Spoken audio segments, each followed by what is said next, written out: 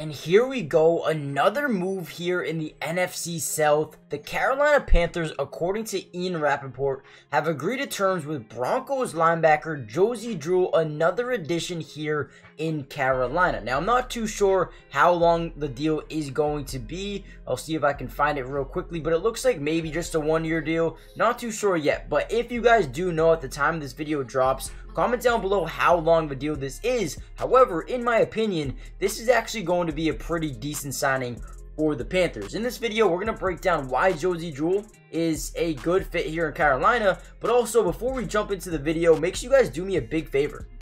Comment down below a letter grade for this signing, but also subscribe if you're new. It's free, doesn't cost anything, and we're going to be covering the Carolina Panthers for the rest of the offseason. Let's get right into Josey Jewell and why he's a good fit in Carolina. Now, right away, when I look at Josey Jewell and what he brings to this team, you you look at a couple of different things, right? Last season, he had three sacks, two forced fumbles, three fumble recoveries, and was overall a tackling machine.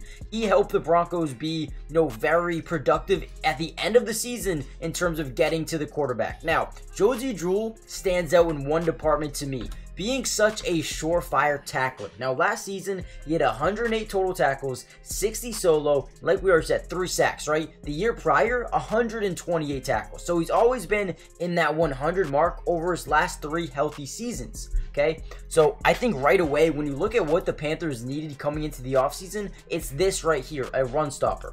Now the Panthers last year, they ranked number 28 in rush attempts allowed per game, which is obvious because their offense was so bad, they allowed opposing teams to just run all over them, right? But also, they ranked at 23 in rushing yards allowed per game, 32 dead last in rushing touchdowns allowed per game, and but they were top 12 in rush yards allowed per game. Now you might be asking, how are they one of the worst run defenses, but have one of the, you know, upper echelon, um, you know, defenses in terms of yards allowed per rush? Well, like we said before, their offense was so bad that teams would go up 20 and would just run the football, right? Um, but now, with that being said, we already saw the Panthers make a couple of moves this offseason, bringing in two new offensive linemen in Damien Lewis and Robert Hunt. Signing those guys to pretty big deals. Now, they needed to make some move defensively because you just want to get better. Not only did they start off by signing A'Shawn Robinson, one of the best run stoppers in the NFL, but they also still have Derrick Brown. Their run defense is going to be better. They needed another surefire tackler, and this is exactly where Josey Jewell comes in. He's going to be someone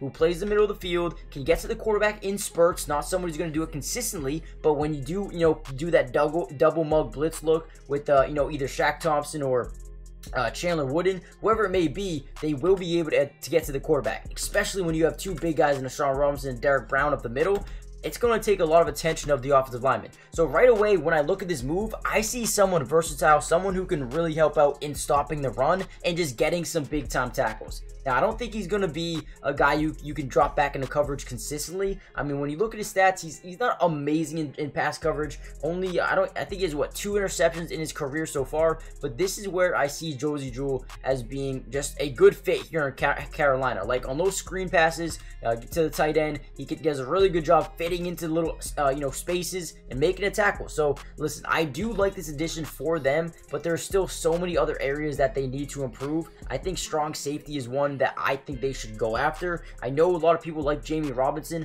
but adding some depth there would not hurt at all, as well as just the DB room in general, right? You have uh, DiCaprio Bootle, you have Troy Hill, and uh, Jaycee Horn, right? They're hoping some of these guys can really start to break out, uh, but you definitely want to add some more depth, especially with this one good linebacker add, add some more depth there. But I'm telling you, there's a lot more spaces, a lot more holes in this defense than you think. And I think offensively, they look pretty good, right? You you got Chuba Hubbard, you got Miles Sanders, you got Mike Boone, you got Tarik Cohen. Um, your wide receiver room, it looks decent. Jonathan Mingo, Terrace Marshall, Adam Thielen, tight end.